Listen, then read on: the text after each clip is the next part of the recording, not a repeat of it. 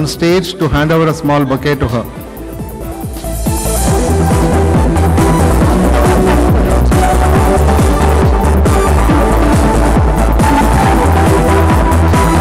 Good evening, ladies and gentlemen, members of the media.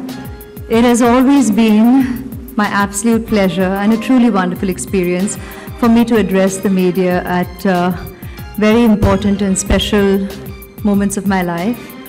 And this is one such because it involves a very important decision. When it involves such an important personal decision as your child, we as a couple and as a family, uh, we obviously have spoken to both sets of parents as well my parents, his parents, and both of us together read up extensively on it, spoke to our doctors, were completely reassured and convinced about um, this incredible uh, decision. I would love to say that um, we uh, evaluated LifeCell's leadership, accreditation, facilities, and more than everything else, we were absolutely convinced about their commitment to this purpose. We would, I'd, love to see it as well. I've just joined the team um, in the very recent past, and I'd love to view it too with all of you today. So let's go ahead and see this campaign for now.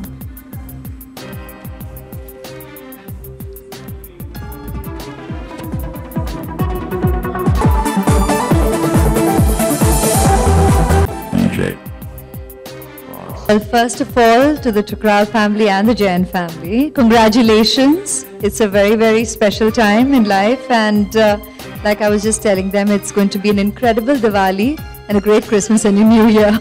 getting gimmick uh, to the day when I finally came to the conclusion that uh, this is really you know, it's this is these are the real voices.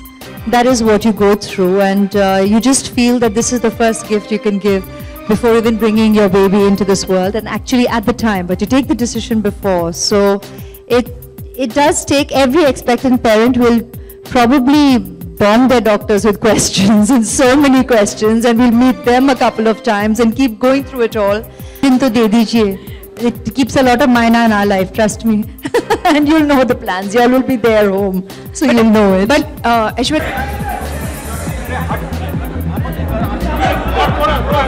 abi. Merhaba. Hepsini tercih